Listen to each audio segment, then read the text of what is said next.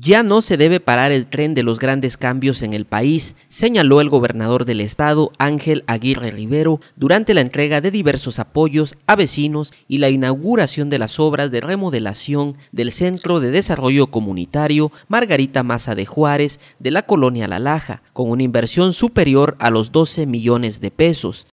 Entonces, estas instalaciones se habían convertido casi, casi en un nido de delincuentes cuando me propuso con esa visión que tiene Laura del Rocío, mi esposa, me dijo, es que no es posible que eso esté tirado, no se hace nada, lo único que se fomenta ahí es el vicio.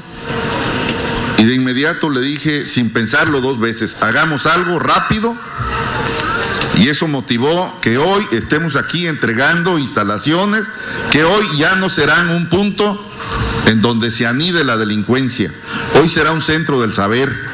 ¿Por qué? Porque aquí habrá secundaria y preparatoria abierta para muchos adultos y para muchas personas que no tienen la oportunidad de asistir a un sistema escolarizado.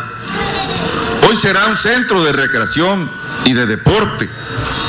Aquí vemos esta cancha de básquetbol.